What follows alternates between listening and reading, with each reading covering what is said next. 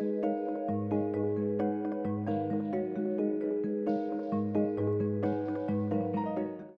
have to remember that the case is not about whether or not she stole the watch. It's about whether or not he, um, Golden accused, or whether or not Golden was trying to take business away from her, or wh- whether or not what his actions took business away from her and left her financially unstable. And in my opinion, he, he intentionally said I wouldn't use her. So he took business away from her, putting her in a worse position financially. And that's what the problem of the case is. This is a case about how we perceive things. I don't think it's really a case about who's accusing who for what and they rebutting all the accusations. I think it's really just about how we take things as human beings and then how we act upon those emotions. And so that's why I was undecided. I don't think that all those things could come out to a nice, even answer. how Miss Wade had to go to Mr. Gold, Golden's house, like how he would react if he had to go to where Miss Wade lived, or like you know what I mean. Like it all plays like a different role in how the conversation would go. How would the conversation be different, Mr. Like Dalton? Since Mr. Golden is going to like a less rich, more like African American community, he might feel the same way how Miss Wade felt, like how she was discriminated against when she went there.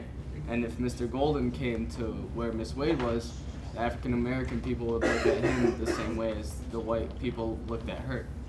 Why do you think this play works?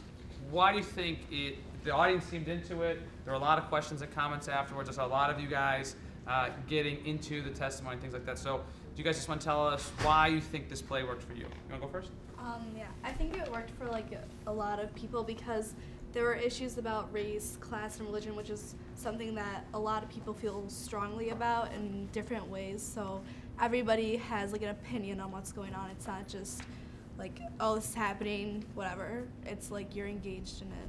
So, you think these are issues that in general kids are interested in and want to talk about? Yeah. Do you find that to be true? Do you want to talk about why it worked for you? Um, yeah, pretty much because there's all these like controversies that don't have like one specific like answer, and everybody feels like so differently about them that like it can really like affect a person's judgment, and especially because now that we're becoming older and I have to like realize these things, and like some of us soon are gonna like be able to vote, like we're gonna have to like realize like what defines like what makes us who we are and like how these things affect our judgment. Absolutely right. I think that it's something that it's a gray area. There's no right answer, and that sort of makes it more compelling because you can argue and discuss it. Is Mr. Golden prejudiced for wanting to live in a mostly or all white community? Is Miss Wade prejudiced or uh, racist for wanting to live in an almost all exclusively black community? What do you guys think about that idea, Oriana?